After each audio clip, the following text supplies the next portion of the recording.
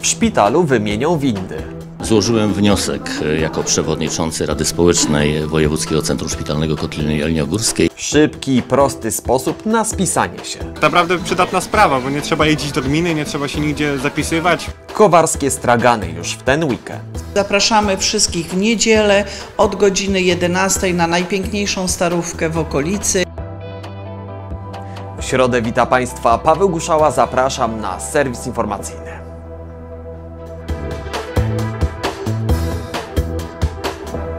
Wojewódzkim Centrum Szpitalnym Kotliny Jeleniogórskiej niebawem wymienione zostaną dwie z czterech działających tam wind. Obecnie dźwigi są stare i awaryjne, dlatego zakup oraz montaż nowych urządzeń jest już nie tyle potrzebny, co konieczny. Kto choć raz był w szpitalu i korzystał z funkcjonujących tam wind, to wie, dlaczego ich wymiana jest już konieczna. Problem zauważył m.in. Marek Obrębalski, wiceprzewodniczący Sejmiku Województwa Dolnośląskiego i postanowił zareagować. Do budżetu województwa dolnośląskiego na rok 2021 złożyłem wniosek e, jako przewodniczący Rady Społecznej Wojewódzkiego Centrum Szpitalnego Kotliny Jelniogórskiej na zakup dwóch nowoczesnych e, wind, wind osobowych. Te, które bowiem e, obecnie funkcjonują, nie zapewniają ani odpowiedniego komfortu, ani także i bezpieczeństwa zarówno dla pacjentów, personelu, jak i gości odwiedzających nasz szpital. Obecne windy działają w szpitalu blisko już em, 20 lat. To niemal od początku istnienia szpitala. E, Dźwigi te są wyeksploatowane, ulegają awariom i wymagają napraw. Dlatego też konieczna jest ich e, wymiana. Dlaczego potrzebna jest wymiana, a nie gruntowny remont? Niestety, dostęp do części zamiennych względu na już właśnie wspomniany ich wiek jest e, utrudniony, a czas oczekiwania na części wynosi nawet do kilku tygodni, to nawet do sześciu tygodni. Na ten cel, jak już zostało to wspomniane, przyznana została dotacja z wojewódzkiego budżetu w kwocie 800 tysięcy złotych, która pozwoli na wymianę dwóch z czterech działających na terenie szpitala dźwigów. Docelowo jednak planowana jest wymiana szacowany koszt inwestycji wymiany wszystkich czterech wind to kwota ponad 1,5 miliona złotych.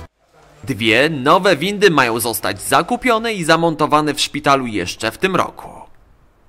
Mobilny punkt spisowy można spotkać nie tylko w centrum Jeleniej Góry przy Urzędzie Statystycznym, ale także w trakcie organizowanych w okolicy festynów.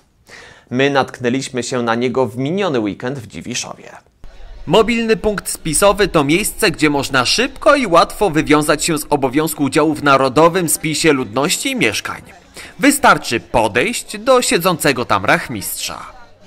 Chcąc spisać się w takim mobilnym punkcie, co musimy mieć przy sobie? y, wiedzę na temat metrażu mieszkania, ilości pokoi, y, numer, znać numer PESEL. Czyli rozumiem, że y, też y, trzeba mieć chyba dowód osobisty, prawda? Przydałby się na pewno. Mamy taki punkt y, w Urzędzie Gminy, który jest w godzinach pracy Urzędu dys- do dyspozycji. Są nachmistrzowie spisowi, ale przy okazji takich imprez też wychodzimy do ludzi. Może będzie łatwiej, zresztą widać, że jest kolejka i zainteresowanie e, bardzo duże. Tak naprawdę przydatna sprawa, bo nie trzeba jeździć do gminy, nie trzeba się nigdzie zapisywać. Można podejść na festyn, tak jak tutaj w tym miejscu i, i po prostu się wpisać, tak? Ważne, żeby się spisać. To oprócz czasu nic nie kosztuje. To jest nasz obowiązek, y, jest również to karane, jeżeli się nie spiszemy, więc warto się spisać, a rozmowa taka na miejscu myślę, że jest fajna. Przypominamy, spisać się można na kilka sposobów. Samodzielnie wchodząc na stronę internetową www.spis.gov.pl, dzwoniąc pod wskazany numer, idąc do Urzędu Statystycznego lub gminy, a także w takim mobilnym punkcie. Mamy zaproszenie na niedzielne wydarzenie w Kowarach. Dotyczy ono jarmarku produktu lokalnego w krainie Ducha Gór. W najbliższą niedzielę w Kowarach odbędzie się druga edycja Kowarskich Straganów. Jest to jarmark, na którym można podziwiać, spróbować i zakupić lokalny produkt. Jak się dowiedzieliśmy, pierwsza edycja przyciągnęła dużo odwiedzających. Zapraszamy wszystkich w niedzielę od godziny 11 na najpiękniejszą starówkę w okolicy, czyli na Kowarską Starówkę. Zapraszamy turystów, mieszkańców, ale i zapraszamy punkty gastronomiczne. Jeśli chcecie Państwo zaprezentować swoje potrawy lub rękodzieło, należy zgłosić się do Urzędu Gminy w Kowarach.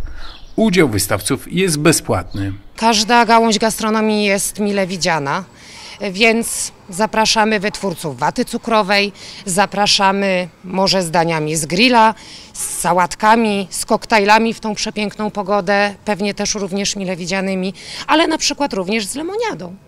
Jakie atrakcje czekają na uczestników kowarskich straganów? Ludzie, którzy nas odwiedzą, to zarówno artyści haftujący, malujący, nadający tak zwane drugie życie liściom, liściom, kwiatom wysuszonym, ale i również e, wystawcy, którzy przywiozą ze sobą swoje wyroby.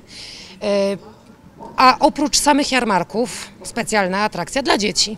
Będzie się można nauczyć robić magnesy, będzie można się nauczyć wyszywać haftem krzyżykowym i przeciekawą metodą haftu, z którą ja też spotkałam się pierwszy raz w życiu, haftu matematycznego, gdzie wyszywamy na papierze. Pozostaje nam przyłączyć się do zaproszenia. Zatem do zobaczenia w niedzielę od godziny 11 na Kowarskiej Starówce. A teraz skrót pozostałych informacji.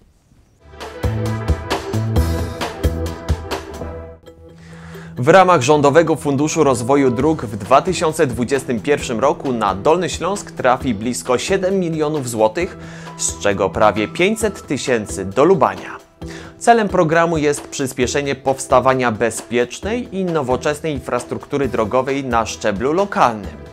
W Lubaniu pieniądze zostaną przeznaczone na wykonanie czterech bezpiecznych przejść dla pieszych na skrzyżowaniu ulic Dąbrowskiego i Mickiewicza oraz piątego na ulicy Dąbrowskiego w pobliżu skrzyżowania z ulicą Sikorskiego. Planowany termin rozpoczęcia prac to koniec 2021 roku. Wartość całego zadania opiewa na 686 tysięcy złotych. Wojewódzki Fundusz Ochrony Środowiska i Gospodarki Wodnej we Wrocławiu przekazał pół miliona złotych na termomodernizację zabytkowego budynku położonego w zespole Kościoła Pokoju w Świdnicy. Dotacja pozwoli zminimalizować zużycie energii i uzyskać lepsze ocieplenie budynku. W przyszłości w tym miejscu ma powstać ogólnodostępny ośrodek edukacji ekologicznej. Tyle na dziś, dziękuję za uwagę, do zobaczenia.